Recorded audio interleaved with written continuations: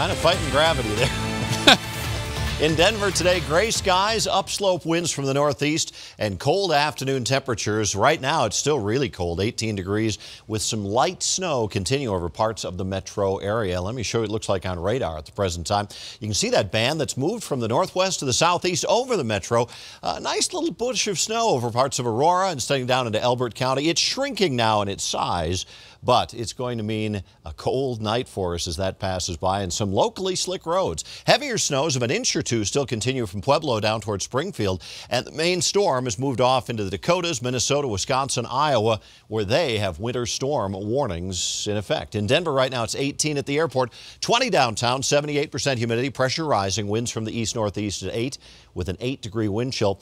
18's been the lowest so far today. 31 was the high, and that was right after midnight. Most of the day was spent in the mid-20s. Normal 44 and 17. As far as weather conditions across the area, a lot of cold air. Not bitter cold, but certainly chilly in the teens, and that cold air has come in behind the storm system that moved through here last night. There's still a little bit of an upper air disturbance moving through the region. That's going to keep the atmosphere a little unstable tonight, especially in the mountains. On the plains, we'll have some areas of low clouds, some patchy fog by morning and a chilly start to the day. You want to definitely bundle up on the way to work or school with just teens expected on the plains. Some readings below zero in the mountains by early morning. Front range numbers mostly going to be in the low teens by morning. Mid teens just along the foothills. Single digits expected in the mountains where there will be some scattered snow showers in the morning tomorrow.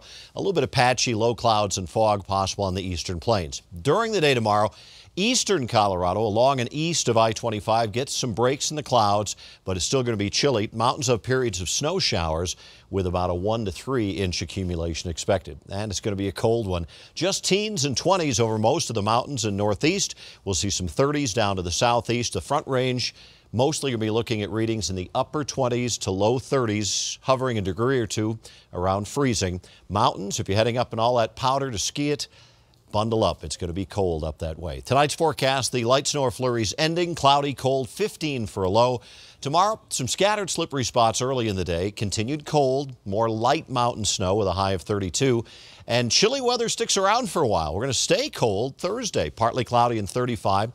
Friday back to about 40. For the weekend, closer to normal for this time of year. 45 on Saturday, have the morning low of 17. 22 Sunday morning, and then up to 50. 52 coming up by Monday, so we'll get our bright spots Sunday and Monday. Clouds increase Tuesday. Mountains start to get some snow. We cool off a bit, and I think our next snow after tonight, Denver and the Eastern Plains, doesn't come until next Tuesday and Wednesday.